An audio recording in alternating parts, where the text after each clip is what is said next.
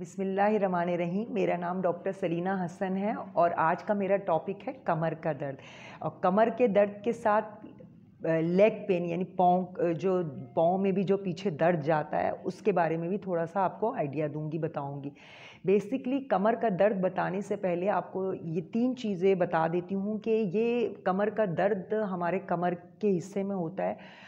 तो इस कमर के दर्द में कौन कौन सी चीज़ें इन्वॉल्व हो सकती? नंबर वन जो आपको कमर के दर्द के लिए होंगी, वो इन्वॉल्व होंगे वो पट्ठे यानी मसल कमर के मसल हो गए, आपको ये दूसरी चीज़ क्या होगी? नसें. नसें तो इन्वॉल्व नहीं है, इसको नर्व्स कहते हैं इंग्लिश में, और उर्दू में नसें तो इन्वॉल्व नहीं है, इसकी वजह से भी दर्द हो सकता है. तीसरी चीज़, हड्डियों में तो कोई प्रॉब्लम नहीं है आपको. अगर हड्डियों में प्रॉब्लम है तो भी आपको कमर में दर्द हो सकता है. ये तीन चीज़ें हो गई हैं आपकी, ये क्लियर हो गया आपको.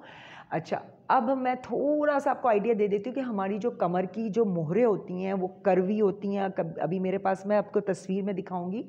उसमें करवी होती है उसमें L three L four L five और एस वन ये स्पेशली कमर के जो मोहरे जिसको कहा जाता है, जो कमर की हड्डियाँ जो गुजरती है, जिसको हम वर्टिब्रा कहते हैं और उर्दू में मोहरे कहते हैं, ये गुजरती हैं। तो ये इन इन इन में कोई प्रॉब्लम होता है तो मैंने आपको बता दिया पट्ठों में मसला हो, नसों में मसला हो या हड्डियों में मसला हो तो कमर का दर्द हो जाता है। अच्छा कमर के दर्द में जो वजूहत तो मैं मैं आपको अभी बता रही हूँ, लेकिन सबसे इंपॉर्टेंट चीज़ जो बता रही हूँ कि आपको ये कैसे पता चलेगा, ये कमर का दर्द है या ये पट्ठों का दर्द है या नस का दर्द है? ये सबसे इंपॉर्टेंट चीज़ है, जिसकी वजह से देखें, अगर पट्ठों में दर्द है तो वो डेंजरस चीज़ नहीं है। वो आप, लेकिन अगर नस में दर्द होता है तो आपको डॉक्टर के पास जाना बहुत ज़रूरी होता है, वो डेंजरस भी हो सकता है।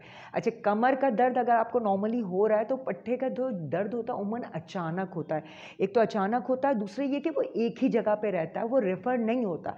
लेकिन अगर वो कमर के दर्द के साथ अगर आपकी नस भी इन्वॉल्व है, आपकी नर्व भी इन्वॉल्व है तो आपका दर्द पीछे थाइज से होते हुए लेग के नीचे तक, पाँव तक जाएगा।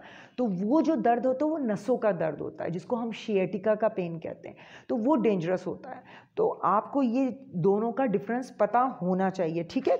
अच्छा अब ये हो गया कपट्ठों का दर्द। अब कमर में दर्द की जो वजूहत बता देती हूँ मैं सबसे पहले वही इनएक्टिविटी लैक ऑफ़ एक्सरसाइज यानी आप हरकत नहीं करते हैं आप काम नहीं करते, अपना आप एक्सरसाइज नहीं करते, आप मूवमेंट नहीं करते। बहुत देर तक एक ही पोजीशन में बैठना, बहुत देर तक एक ही पोजीशन में बैठना बहुत डेंजरस है। अगर आप एक ही पोजीशन बैठ के जैसे लैपटॉप में काम करें मोबाइल पे काम करें तो आप थोड़ा सा बीच में आधे घंटे में या पंद्रह मिनट के बाद उठ जाएँ या एक घंटे में उठ जाएँ, थोड़ा सा वॉक कर लें। एक देर तक अगर आप लैपटॉप पे बैठे रहेंगे और इस तो वो जो है वो वो कमर के दर्द के बाइस बनती है।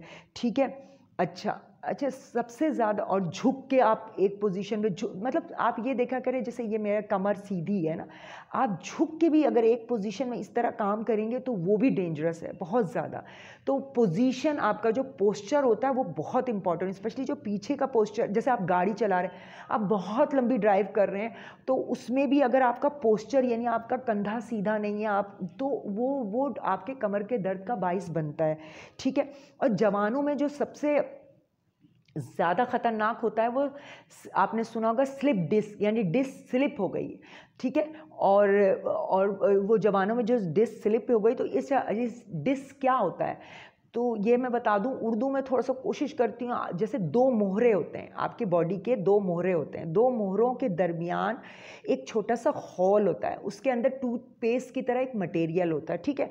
वो जो हॉल होता है, उसको डिस्क कहते हैं। ये दोनों मोहरों को ना शॉक देती मतलब एक दूसरे के शॉक ऑब्ज़र्व करती ताकि ये दोनों जब आप चलें तो ये मोहरे आपको एक दूसरे एक दूसरे दबाएँ नहीं और एक दूसरे को तंग ना करें। क्या होता है कि जब आप एक ही पोजिशन में रहते हैं तो ये मोहरे दब जाते हैं, ये डिस्क को दबाते हैं और डिस्क स्लिप उर्दू में इसको स्लिप को कहेंगे, फट जाती है। तो आप जब फट जाएगी तो वो जो नस वहाँ से गुजरती है, वो दब जाती है, ठीक है? वो नस वहाँ से दब गई, वहाँ से गुजर गई तो फिर वो पेन आपके नीचे तक जाता है और वो शेयटिका का पेन होता है, वो दर्द होता है आपको शदीद। तो वो बहुत डेंजरस है और ये जवानों में होता है, क्योंकि वो एक ही पोजिशन में रहता है। अच्छा बूढ़ों में कम चांसेस होते हैं डिस्क स्लिप के। क्यों? कि बूढ़े जो होते हैं ना, उनके जो डिस्क होता है, उसमें जो मटेरियल होता है, जो आपका, वो कम होता है, वो सूख जाता है। और आपके जो बूढ़ों में ना ऑस्टियोफाइट्स हैं छोटे छोटे नोके निकल जाती हैं ये मोहरों के में तो वो दबाती हैं। तो उसकी वजह से होता है, लेकिन उनमें डिस्क स्लिप होने के चांसेस कम होते हैं, जो उनकी हड्डियाँ कमज़ोर होती हैं, उनकी हड्डियों में ना छोटे छोटे ऑस्टियोफाइट्स निकल आते हैं, नोके निकल आती जिसकी वजह से नस दबती तो उनको दर्द हो सकता है। तो ये तो वजह हो गई। सही है? तो आपको ये थोड़ा सा डिस्क का आइडिया मैं, ये मेरा टॉपिक नहीं है, लेकिन बहरहाल ये मेरी फ़ील्ड नहीं है, लेकिन मैंने इस पर रिसर्च और स्टडी किया है आप लोगों, आम लोगों को समझाने के लिए कि क्या होता है ये कमर का दर्द। तो कमर का दर्द अगर उसमें डिस्क की इन्वॉल्वमेंट है, अगर उसकी नस की इन्वॉल्वमेंट है तो हमेशा उसकी पहचान ये होगी, उसका दर्द नीचे तक, पाँव तक रेफर पेंड होगा। देखिए, अगर सिर्फ़ कमर का दर्द है तो वो सिर्फ़ कमर तक महदूद रहेगा ज़्यादा ज़्यादा आगे तक, थाइस तक आ गया आपके थोड़ा सा लेकिन कमर का दर्द अगर नीचे टांग तक जाता है, आपके पीछे थाइस से होते वैसे तो वो शेटिका पे वो नर्व आपकी दबी है डिस्क स्लिप हुई है या या फिर आपके ऑस्टियोफाइट्स हो गए हैं, जिसकी वजह से ये मसले हो रहे हैं। अच्छा अब ये हो गया, मैं आपको वजह भी बता दी आपको और अच्छा एक और भी वजह होती है कि हम लोग ये समझते हैं कि हम ज़मीन पे सोते हैं और हार्ड चीज़ों पे सोते हैं, वो भी आपके वो डिस स्लिप होने का बाइस बन सकती है, वो भी आपके जॉइंट पे प्रेशर डालती है तो कमर पे प्रेशर डालती है तो वो भी जो है, वो भी आपको नहीं करना चाहिए, ठीक है? ये हो गया।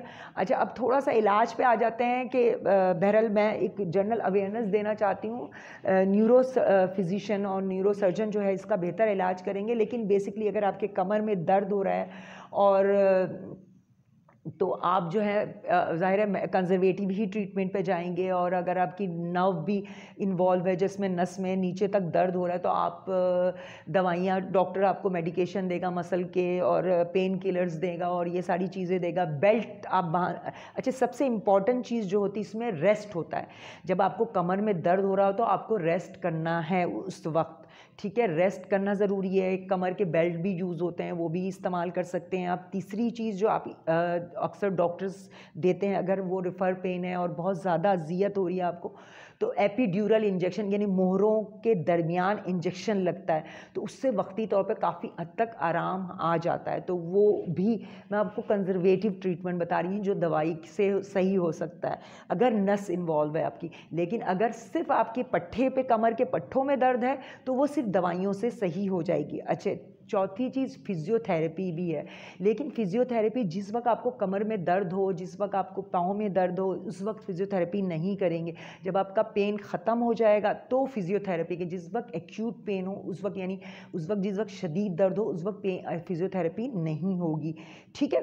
अब आपको समझ में आ गई तो ये चीज़ें बेसिकली कमर का दर्द क्यों होता है? तो कमर के दर्द में सबसे इंपॉर्टेंट चीज़ पोजीशन पोजीशन पोस्चर आप सही रखें, अच्छे पोजीशन पे काम करें। मतलब अच्छे पोजीशन का मतलब ये होता है कि आपका पोस्चर आप झुक के नहीं, जैसे आप पलंग के नीचे झुक रहे हैं, आप झुक के काम कर रहे हैं, आप बहुत देर तक मोबाइल पर बैठे रहे हैं और ये सारी चीज़ें करें तो आपकी जो प्रेशर पड़ता है, जिसकी वजह से आपको मसले होते हैं और कमर में दर्द होता है। कि उम्मीद है कि आपको ये थोड़ा सा आइडिया आपको हो गया होगा कि कमर का दर्द कौन सा डेंजरस है और कौन सा नहीं। तो आज के लिए इतना ही काफ़ी है। अल्लाह ताला आपको खुश रखे, आबाद रखे, सलामत रखे। अल्लाह हाफ़